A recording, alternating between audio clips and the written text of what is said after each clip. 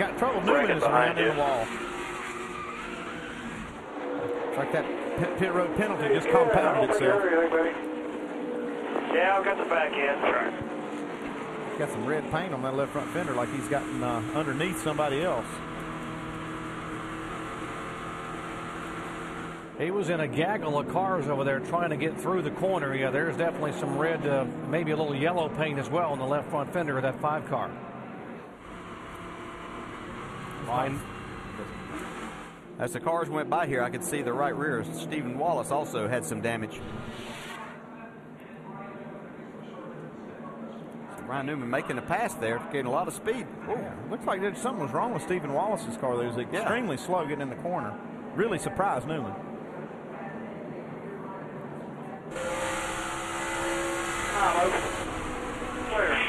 Oh, yeah. yeah. Stephen Wallace thought he had a flat tire or something there because that you wouldn't, you wouldn't catch a car that quickly, especially a, a car that's running on the lead lap. Matt Newman all over the brakes. Fine here. Coming to you. Hang on, son. Caution's coming out. Hang on right there.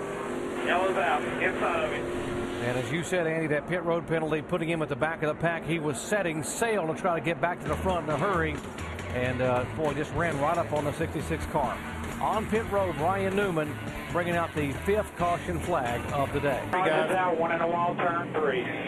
That is the five car. Ryan Newman again having trouble. He already had a damaged race car, and now it's just heavily damaged. Andy, that goes back to just what you talk about. You haven't having one of these cars crashed and maybe have something rubbing that you uh, really haven't gotten fixed. Yeah, and that's you know that's the that's the bad thing about this racetrack, and I've always been very gun shy of that when you do have a damaged car. There's Krissie Newman, Ryan's wife, uh, looks like they're done for the day. A very, very wild ride for the five car of Ryan Newman. Let's ride along. Ah, do we have to? Uh.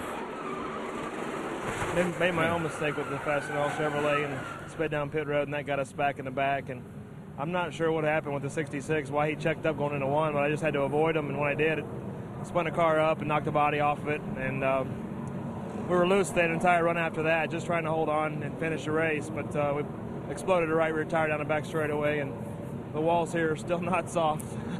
they uh, they still hurt, but um, got to thank everybody at Junior Motorsports for the opportunity and Fastenal for being on board. And I look forward to racing more. We just um, I got us in a hole and we never got back out.